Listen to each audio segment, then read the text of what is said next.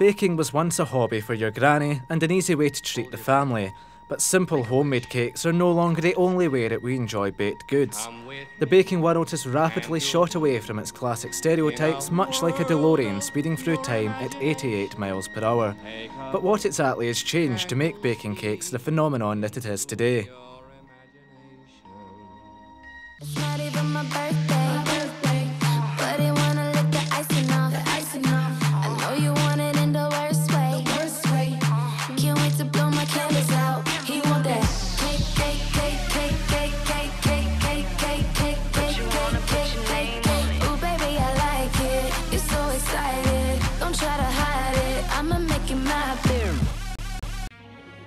The alchemy of flour, eggs, butter and sugar has turned baking businesses into a recipe for success.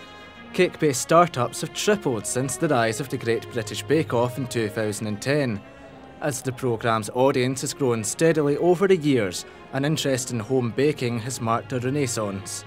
Masses of people who had never held a whisk are now convinced that baking is the most fulfilling way to prosper in business. One man who has done very well for himself and apparently has enough dough to afford an entourage fit for an A-lister is Paul Hollywood. The legendary Silver Fox has sat as a judge in the Bake Off since its first season, and with this year's final generating a record-breaking number of viewers, perhaps this is why Channel 4 handed over £75 million for Paul Hollywood in a tent. Will he rise to the occasion? It's the yeast he can do. I think it's uh, it's a science which appeals to my nature. I love the fact that it's the reaction of, for instance, baking powder or bicarb or yeast with a flour and water to create something that is totally unique, totally different. It's one of the rarest, it's one of the only um, forms of cooking or baking that you create primary ingredients like flour, uh, yeast and salt to create something completely different. If you're cooking a fish, at the end of that dish, it's still a fish if you're cooking bread or a cake, it comes from those primary primary uh, ingredients like flour and come up with something completely different. That's why I love it. It's so versatile. And actually, anybody can bake. But what's the difference between a baker and a great baker is consistency, doing the same thing every day. The so-called bake-off effect has got people of all ages involved and is the inspiration behind the Edinburgh University Baking Society's afternoon tea. They teamed up with the Royal Voluntary Service to give lonely old folks a sweet treat. But why have young people taken to the hobby like strawberry jam to buttercream? Definitely Bake Off. I mean, yeah, Bake Off. I think so. Yeah. I mean, it's got such a range of people on it, and quite a lot of younger people, and I think I think that's what's really inspired a lot of people to bake that are younger. Baking for a generation that know their Swiss rolls, scones and sandwiches down to a T is a daunting task. But as the face of baking changes, will the student soon become the master? It appears that way as Lorna Gregory teaches her three-year-old Elliot the rules of the kitchen. Lorna's Free From Cakes is a homegrown business which started in her family kitchen in 2015. It began after she discovered that her second-born son would grow up unable to eat soya and dairy. It was a real struggle at, at first to get him diagnosed and um, to actually get people to believe that there was anything wrong. That was really quite a difficult time. The first six months of his life we, we basically spent in hospitals and doctors' surgeries and things. So uh, I just feel that experience was quite negative, and now throughout through this, doing this with my cakes, I've turned it into a positive. It just it makes me really happy that I'm able to make cakes for people that have maybe never even been able to eat cake before. Um, and just it, I know that it brings them so much joy as well. I think my customers trust me mainly because I'm also an allergy mum. Um, I'm loving this day to day and I, I get it. In short, I get the, the whole thing, the dealing with cross contamination, dealing with uh, symptoms, uh, just uh, the whole sort of social aspect of it as well. Um, and the, you know, a lot of allergy children are kind of left out from things, um, birthday parties and things like that. They have to take their own food and they can't eat the cake that's there. Another mum eager to open a baking business was Michelle Phillips. She was willing to risk it all during the recession to create Mimi's Bakehouse, a chain of cafes across the city of Edinburgh.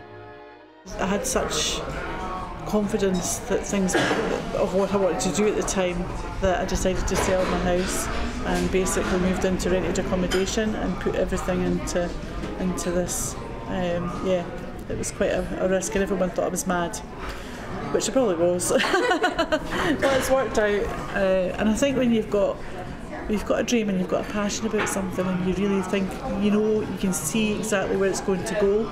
Um, and for the family I just thought it was a great thing for them to set them up all in business as well. And it's, a, it's worked out because they have put 100% into it knowing that we've put 100% into it and it's been a great platform I did my family tree, and when I went back, I, know, I, I found out that from the 17th century there was actually bakers that were, were baking in these days, which I thought was amazing and fascinating because all through my my family life there's been somebody baking from aunties, uncles, grandparents or whatever. So I've always just had this passion for baking. It's just always been there. And now my daughter Gemma has taken over the baking, so she runs the bakery now, um, and she's she's the next generation. We promote that uh, by having our pictures of our family tree on the wall, and um, I think people like to see that we're a family business. They like to see us around. Um, they get to know us, um, and I think it's it's a nice message to have, you know family around because you don't see it very often now. There's so many big guys out there that are, you know, it's just a, a business on the street, but there's nothing, there's no story attached to it. We want to be who we are and have our strong identity, and that's what I think we have. From the shores of Leith to the shores of Saltcoats, the idea of keeping true to your identity and roots is a value that the two time world champion Scotch pie makers hold strong. And if there is one man who can explain the gratitude of carrying on a family tradition, the Candyman can. My mother and father really wanted um, that McAllister tradition of having a craft baker uh, within the three towns of Saltcoats, um, and Stevenston um, alive.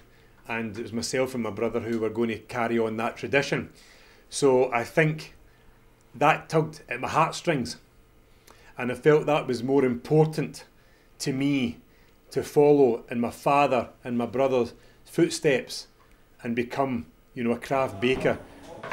I felt that I wanted to keep the recipe for success very simple. I wanted to follow the traditions and the systems that they had built up. Since Stephen's grandparents opened the candy bar in 1929, the recipes for their cakes, pastries, pies, and breads have been passed down each generation of the McAllister family. Stephen hopes one day he can pass the baton to his son and daughter. After all, the business is run for the locals, by the locals. We like to um, put ourselves out there uh, by employing um, members of, of the family. Um, we've got mothers and, and daughters and mothers and sons and cousins and brothers. Um, so we really are what you would say a traditional family bakers. It's been hard work, uh, long hours, early starts, late finishes, but it's the most satisfying job.